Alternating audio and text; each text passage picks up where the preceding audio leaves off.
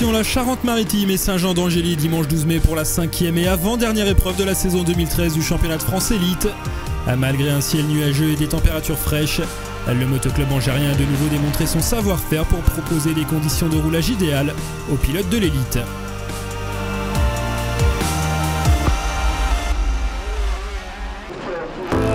Habitué à accueillir des épreuves internationales avec 15 grands prix et 2 motocross des nations lors des 30 dernières années, le circuit du Puy de Pourcé effectue son retour au calendrier du championnat de France après ses temps d'absence.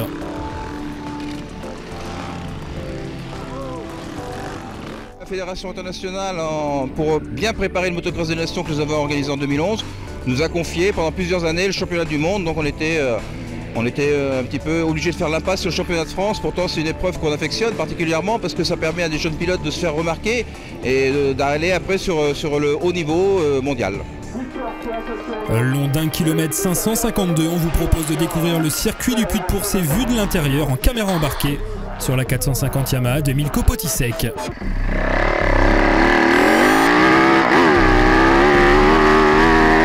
Allez, c'est parti pour un tour à Saint-Jean-d'Angély, le premier virage avec la fameuse montée et son virage en dévers. Un virage très délicat parce qu'ensuite on a trois bosses à la suite, donc c'est pas évident. Ici on a la double trajectoire. Moi j'ai favorisé l'intérieur aujourd'hui, mais je pense que l'extérieur sera très rapide demain. également ici on a deux trajectoires, une intérieure, une extérieure avec un beau camel en montée. Donc euh, là c'est vraiment une partie très plaisante euh, de la piste le virage à gauche et on arrive sur la ligne d'arrivée en espérant la passer en premier ce week-end pour tous les pilotes. Et le fameux gros saut devant le public, ça c'est un super endroit, on entend la foule, on entend vraiment les gens qui crient, donc c'est vraiment une partie que j'apprécie du terrain. Ici c'est une partie très très technique où c'est là que ça double plus justement euh, ce week-end, avec un virage intérieur ou extérieur. L'intérieur est vraiment euh, la, la plus rapide mais c'est pas facile à prendre la partie haute du terrain avec un beau camel et on arrive sur le grand saut de la piste, le saut que tout le monde regarde. Il est vraiment impressionnant euh, pour le pilote. C'est vraiment un endroit qui me plaît aussi beaucoup. La grande montée de Saint-Jean avec euh, le, petit camel là-haut. C'est vraiment la série de vagues. Ça c'est vraiment un super enchaînement, intérieur ou extérieur. Et après on arrive sur euh, le petit pif-paf avant de retourner sur, euh, sur la ligne droite.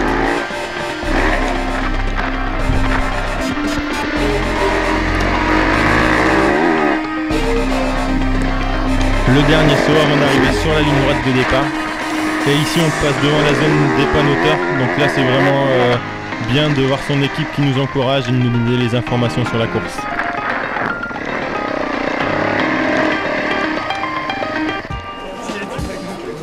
Sur la catégorie MX2. À deux épreuves de la fin de saison, le titre ne devrait pas échapper à Dylan Ferrandis ou Benoît Paturel. Leader du classement provisoire MX2 avec 14 points d'avance. Ferrandis a également pris les commandes des internationaux de France à Villars-sous-Écho, une première pour un pilote 250. Moi, mon objectif c'était surtout d'être champion de France MX2. Après euh, le scratch, bah, c'est que du bonus quoi, mais euh, euh, c'est top euh, de savoir que, euh, je suis devant même des pilotes 4,5 et tout, alors qu'en championnat de France, on a quand même un bon niveau. Donc c'est cool. Maintenant, ça va être quand même très dur de, rester devant jusqu'à la fin de l'année, mais, je pense qu'il y a moyen de, se battre pour. Pour conquérir son premier titre en élite, Ferrandis devra faire face à Benoît Paturel. Très régulier dans ses performances, le Lyonnais passé sur Uxvarna cette année est la bonne surprise de la saison au moment d'aborder le sprint final. J'aborde ça sans pression, je suis là pour progresser et puis euh, donner le meilleur de moi-même. Puis je vais essayer de faire au mieux euh, dans mon pilotage et on verra si les résultats sont là. Entraîneur des meilleurs pilotes français au cours des 20 dernières années, Jacques Vimon, champion du monde 250 en 1986, s'occupe du jeune lyonnais depuis l'hiver dernier. C'est vrai qu'il m'apporte beaucoup, euh, je m'entends très bien avec lui, donc ça porte ses fruits. On bosse très dur tous les jours. Jusqu'à présent, euh, il n'avait pas beaucoup l'occasion. Son père ne pouvait pas l'emmener sur les terrains. Donc il avait l'occasion de rouler une seule fois par semaine. Et donc quand on vient intégrer une structure, euh, c'est évidemment beaucoup plus professionnel. À partir de là, cet hiver, on roulait jusqu'à 3 4 fois par semaine, donc ça lui a changé complètement la vie. Il n'a aucune pression, il vient, donc il est encore en phase d'apprentissage, donc il doit absolument euh, aborder les compétitions comme il aborde les entraînements, sans pression. L'objectif effectivement cette année est de faire vraiment une très bonne place au Championnat d'Europe. Euh, une très bonne place serait euh, un podium éventuellement. mais vu son gabarit, je pense qu'il va falloir qu'il monte très rapidement donc, en MX2 au Championnat du Monde. Donc le projet et j'espère l'année prochaine pouvoir passer justement dans cette catégorie. Candidat au titre MX2 en début de saison, Valentin Tellier est de nouveau forfait ce week-end. On a retrouvé le pilote Kawasaki Bud Racing lors de la séance de dédicace, à l'occasion de prendre des nouvelles du Vendéen, victime d'une grosse chute à Romagné. J'ai chuté très fort à Romagné, et, euh, donc j'ai fait des examens le soir. On n'avait vu euh, aucune fracture, et, euh, parce qu'il y avait une hémorragie quand même à l'intérieur, on voyait mal. Donc moi j'ai continué à rouler, j'ai roulé à la capelle, j'avais même gagné la première manche comme ça, j'avais vraiment mal mais je savais pas vraiment ce que j'avais. Et euh, ensuite, euh, j'ai fait, euh, fait, le championnat du monde en Bulgarie. Et c'est après cette épreuve que j'ai vraiment senti qu'il y avait un problème puisque je n'arrivais pas à bouger l'épaule, j'avais mal. Et j'ai passé des examens complémentaires et finalement, et c'est avéré que j'avais l'épaule de cassé, la, coracoïde, et puis, et puis le, bourrelet qui retient l'épaule pour pas qu'elle se déboîte, qui était complètement arraché. Donc c'est un coup dur puisque c'est quand même 3 à 6 mois d'arrêt. c'est quand même une grosse, une grosse blessure. Mm. Et donc euh, la suite, vous êtes euh, obligé de, passer par la case euh, opération pour, pour vous remettre Voilà, c'est une grosse opération, ça va être une, greffe osseuse, ils vont mettre une butée et puis voilà, c'est comme je disais, c'est un coup dur puisque j'ai quand même bossé très dur cet hiver et les années se, sont suivies et se ressemblent un petit peu malheureusement. je voyais pas les choses comme ça, maintenant je vais me remettre au, maximum. C'est vrai que bah, je vais prendre un petit peu le recul avec le motocross, je vais, je vais voir la, suite de ma carrière peut-être différemment. Euh, je perds pas espoir puisque j'ai quand même des, objectifs pardon, euh, pour plus tard. Euh, on verra bien, pourquoi pas partir aux États-Unis. En tout cas, je vais faire le, Supercross en fin d'année et, en Europe, je parle, et, après on, verra, on verra la suite. Dimanche matin en qualification, Dylan Ferrandis confirme sa forme du moment et réalise le meilleur chrono en 1.39 927. Le pilote Bud est donc le premier à entrer sur la grille de départ, suivi de Benoît Paturel, numéro 142, et Arnaud Aubin, numéro 14. Le départ de la manche MX2, c'est parti pour 30 minutes plus de tours. Dylan Ferrandis réalise le all shot devant Benoît Paturel, Arnaud Aubin et Adrien Escoffier. Dans le premier tour, Romain Berthaud, moteur d'un excellent départ, s'empare de la troisième place derrière Ferrandis et Paturel. Dès les premiers tours, Dylan Ferrandis prouve qu'il est bien le patron de la catégorie cette saison et creuse l'écart sur Benoît Paturel. Après 5 tours, Arnaud Aubin, 3 pointe à plus de 5 secondes du leader. Romain Berthaud, 4 et Simon Mallet, 5 sont en train de remonter sur le pilote KTM. À mi-course, Simon Mallet est le plus rapide en piste derrière Ferrandis et va prendre le meilleur sur Bertone pour le gain de la quatrième place.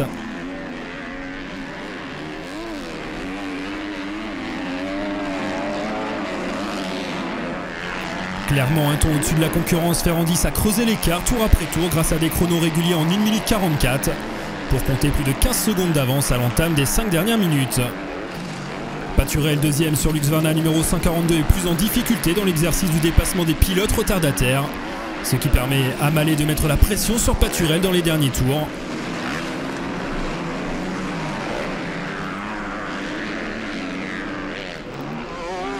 Après un bon début de course, Romain Berthaud n'a pas pu suivre le rythme et se retrouve esselé à la cinquième place.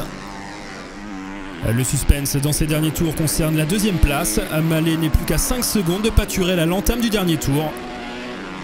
Arnaud Aubin, quatrième, perd le contact avec Simon Mallet qui signe sa plus belle course de l'année.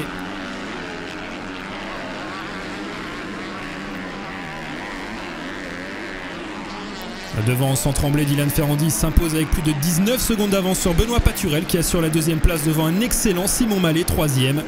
Un nouveau succès cette saison pour Dylan Ferrandis qui peut avoir des ambitions en vue de la super finale.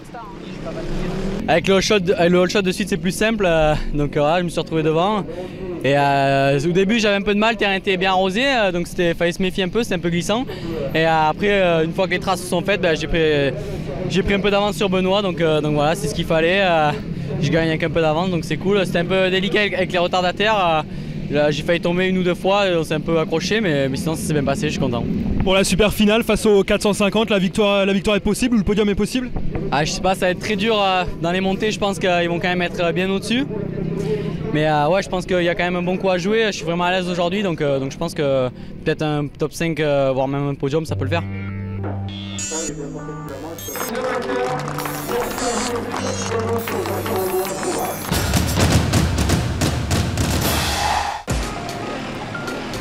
La catégorie MX1 présent, celle des 450 cm3 4 temps. Porteur de la plaque rouge de leader à Villars sous écho, Milko Potisek a vécu un week-end noir. Désormais quatrième à 19 points de la tête du championnat deux épreuves de la fin de saison. Le pilote Yamaha 2B sait qu'il n'a plus le droit à l'erreur. C'est vrai que c'était un week-end assez compliqué. Déjà, euh, grosse chute euh, au départ. Donc euh, ça m'a pas arrangé le week-end. J'ai fini 11, je me suis bien battu. Et je m'étais fait mal au cou. Dans le deuxième manche, j'ai pas réussi à tenir ma moto. J'avais pas assez de force dans le bras et je retombe une deuxième fois, j'abandonne. Donc maintenant, je suis 4 championnats. Il n'y a plus de calcul. Maintenant, faut se battre et essayer d'aller gagner les manches qui restent. Et on verra bien à Gaillac le soir même. Remplaçant de Valentin Tellier chez Bud Racing en championnat du monde MX2 la semaine précédente au Portugal. Jason Clermont retrouve ce week-end à Saint-Jean d'Angély le guidon de sa 450 Honda du championnat de France. À seulement 7 points de la tête du championnat, le Nantais ne perd pas de vue ses objectifs de début de saison. J'ai été blessé un mois et demi en début de saison, donc euh, je visais un top 5 euh, à l'élite, MX1. Et puis là, je me retrouve deuxième, donc euh, avec des meilleurs résultats actuellement. Donc c'est en progression, c'est mieux que ce que je voulais. Avec quel état d'esprit vous abordez ces deux derniers rendez-vous de la saison? Vous pensez plus au, championnat ou c'est surtout remporter une victoire qui est, l'objectif? Bah, L'objectif c'est toujours d'être placé, de prendre des bons départs. C'est sûr que gagner, ça serait bien aussi pour le championnat, donc on va essayer de faire les deux. Après, pas, pas s'enflammer non plus, essayer de marquer des gros points dans chaque manche et puis voilà, après on verra à la fin du championnat. La catégorie MX1 a été marquée à Saint-Jean d'Angély par les absences de deux pilotes du top 5. Sébastien Pourcel et Nicolas Aubin, partis rouler en championnat d'Allemagne et en championnat d'Angleterre. Cyril Coulon et Florian Richier, blessés à Villars-sous-Écho, sont eux forfaits. Les qualifications dimanche matin ont marqué le retour au premier plan de Grégory Aranda. Avec plus d'une demi-seconde d'avance sur son plus proche poursuivant, Grégory signe un retour remarqué après un début de saison gâché par les blessures. Au départ de la manche MX1, le pilote de la Kawasaki numéro 20 s'élance depuis la ligne intérieure avec à ses côtés Souberas, Clermont et Potisek. À 30 minutes plus de tours sont au programme de cette manche MX1. Aranda est le plus rapide à s'extraire de la grille et signe le all shot devant David Adam, auteur d'un excellent départ.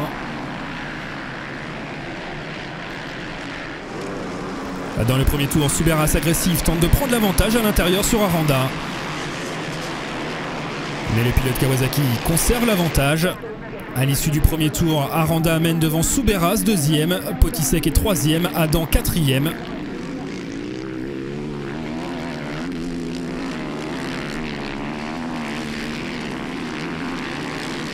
Deuxième du championnat, Jason Clermont a complètement raté son départ. Huitième après deux tours, le Nantais entame sa remontée.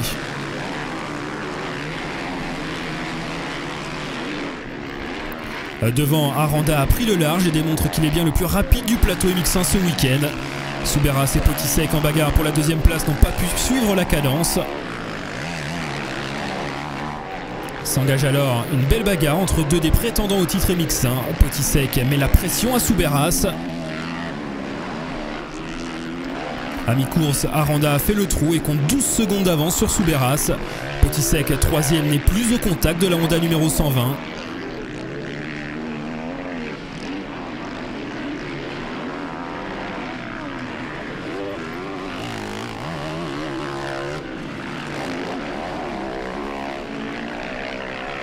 Au guidon de la meilleure des Suzuki, Fabien Isoire a réussi une très belle manche et occupe une méritante cinquième place. Après s'être défait de David Adam, plus en difficulté dans la deuxième partie de course. Derrière ces deux hommes, Loïc Léon, 7ème devant Charles François, Kevin Ballanger et Adrien Van Beveren, spécialiste des courses sur sable qui ferme le top 10. On revient devant avec dans les dernières minutes Jason Clermont qui est le plus rapide en piste. Il est désormais au contact de Milko Potisek pour la troisième place.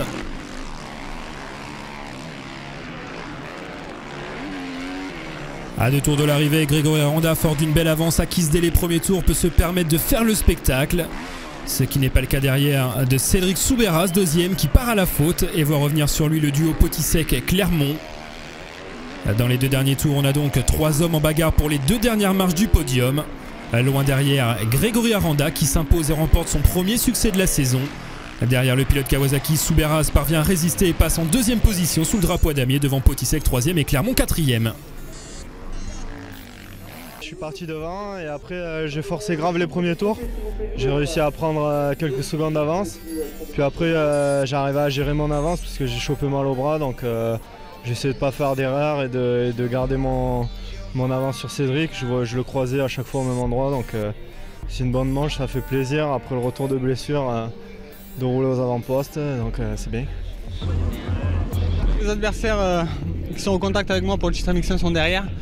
Mais bon, euh, Dylan pour le titre inter a, gagné sa manche, moi je suis second, donc il va pas falloir perdre beaucoup de points en, manche, euh, manche open. Donc euh, là je, je, suis bien parti, je tenais le rythme à Greg, mais j'ai chuté, j'ai perdu l'avant. Donc bon, ça arrive. Après ensuite j'avais l'épaule un peu douloureuse, mais bon, c'est quand même une manche satisfaisante.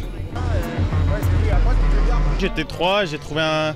J'avais un bon rythme au début et d'un coup après 10 minutes j'étais je roulais un peu moins bien, j'avais des moins bonnes traces, donc j'ai perdu du temps sur Cédric et Jason est remonté sur moi.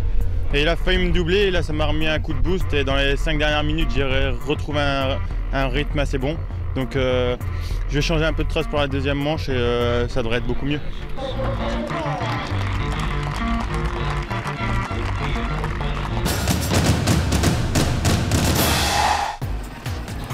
Porteur de la plaque rouge de leader du classement MX1, Cédric Souberas se méfie d'un Milko Potisek revanchard après un week-end sans à Villars sous écho. Je suis arrivé avec euh, pas loin de 16 points de retard euh, sur Milko Potisek et euh, je repars de là-bas avec presque une vingtaine d'avance sur lui. Et, ben voilà, comme j'ai dit, j'avais grillé joker à, la Capelle, il a grillé le sien à, Villars en première manche et puis malheureusement pour lui, il est tombé en seconde aussi. Donc bon, ça a été un très dur week-end pour lui. Maintenant, il n'a plus rien à perdre, donc c'est pour ça que ça va être un très gros adversaire maintenant qu'il n'a plus la pression du championnat. À l'image de Dylan Ferrandi, son MX2, le pilote HDI vise le doublé cette saison, le titre dans sa catégorie, mais également au classement inter c'est l'objectif depuis euh, cet hiver, je dirais, pour le team et moi-même. Euh, on se prépare pour être euh, devant au classement international et, MX1. Puis là, ben, j'ai pris la tête du championnat MX1 il y a deux semaines à, Villars-sous-Écho. Et puis maintenant, ben, prochain but, c'est maintenant prendre la vraie plaque rouge, celle du leader du, scratch. J'ai grillé un bon joker à la Capelle Marival où j'ai fait une manche 11e en tombant au départ. Donc c'est vrai que j'ai perdu d'énormes points. Puis l'avantage qu'il a sur nous, c'est qu'il n'a pas, il a pas de gros concurrents à MX2. Nous, à chaque fois qu'on avait une épreuve, il y avait soit Clément de Salle ou Sébastien Pourcel ou même Nicolas Aubin qui prennent des gros points à chaque fois. Mais bon, ça nous force à nous donner dedans et, du coup, ben, on, est, devant lui en super finale. Mais bon, euh, c'est vrai que c'est l'adversaire à battre et euh, il est très rapide en MX2, comme j'ai dit. Donc, je ne serais pas vexé, mais euh, c'est vrai que comme, comme prennent mon, but de l'année, ça serait vexant un petit peu pour moi.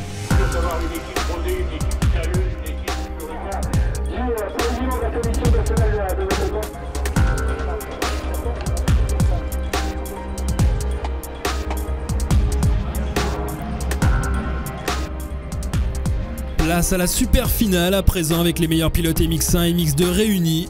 Ferrandi s'élance depuis la ligne intérieure avec à ses côtés Aranda numéro 20, Paturel numéro 142 et Souberas numéro 120. Aranda profite de la puissance de sa 450 pour réaliser le all shot. Ferrandis se fait enfermer en haut de la montée et perd plusieurs positions. Isouard en profite pour passer deuxième devant Romain Jacquiot, troisième, auteur d'un excellent départ, et Benoît Paturel, quatrième, premier pilote MX2.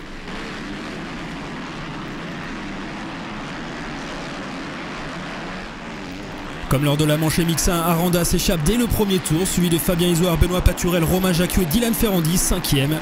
Un début de course beaucoup plus difficile pour Milko Potisek qui pointe seulement septième, et surtout pour Cédric Souberas, quatorzième, juste devant Jason Clermont, quinzième. Après 5 minutes, Aranda est déjà tranquillement installé en tête, laissant derrière lui Fabien Isoire mener le groupe de chasse. Ferrandis, bloqué par Jacquio, trouve l'ouverture pour le gain de la quatrième place. Après 10 minutes, un groupe de 6 pilotes est en bagarre pour la deuxième place. toujours emmené par Fabien Isoire devant les 250 de Paturel et Ferrandis. Jacques Swan 5e et suivi de par Potisek 6e et Léon 7e. Après un départ moyen, Ferrandis trouve son rythme et passe à l'attaque. Le pilote Bud Racing double successivement Paturel et Isoire pour s'emparer de la deuxième place.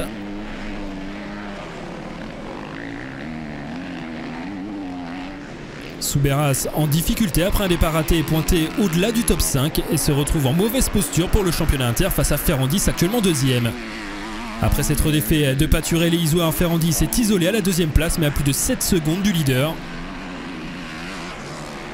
Derrière, Jason Clermont prend le meilleur sur Isoire et Paturel pour la troisième place. Superbe remontée du pilote Honda qui pointait seulement 15e à l'issue du premier tour. Loïc Léon 7ème devance Jordan Lacan et Milko Potisek qui a rétrogradé en 9ème position après une chute.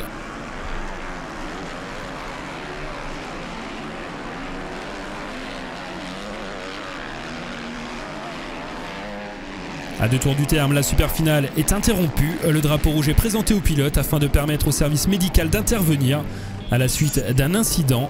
Grégory Aranda est déclaré vainqueur devant Dylan Ferrandis et Jason Clermont. Journée parfaite, Paul, euh, deux all shots, deux victoires. Euh, ça fait vraiment du bien parce que ça faisait presque un an que j'avais pas fait de podium. Donc euh, je, suis, je, suis, super content. J'ai bien bossé avec mon mécano depuis que j'ai repris de ma blessure. On a tout ce qu'il faut avec le Team Bud et tout, donc c'est super. Cédric Souberas conserve la tête du championnat MX1 avant la dernière épreuve à Gaillac-Toulza. Jason Clermont, deuxième, est à 15 points. Un nouveau week-end positif pour Dylan Ferrandis qui possède 20 points d'avance en tête du classement MX2 et 11 points d'avance au classement inter. Pour le, le Team MX2 c'est sûr que euh, j'ai gagné mes deux manches donc, euh, donc ça c'est top. Après pour le scratch je sais pas trop euh, qu'est-ce qui s'est passé derrière vu que voilà, la course a été, a été arrêtée, arrêtée prématurément donc, donc je sais pas trop combien fait, fait Souberas donc je vais voir mais c'est sûr que de toute façon je fais, je fais, quelques points devant lui donc c'est ce qu'il faut. Et, je pars avec encore, encore quelques points d'avance, donc c'est top. tout va se jouer à Gaillac de toute façon. Quelques minutes après les podiums, on apprendra le décès d'Eric Monori, commissaire de piste, suite à un incident lors de la super finale. Nous adressons nos plus sincères condoléances à sa famille et à ses proches.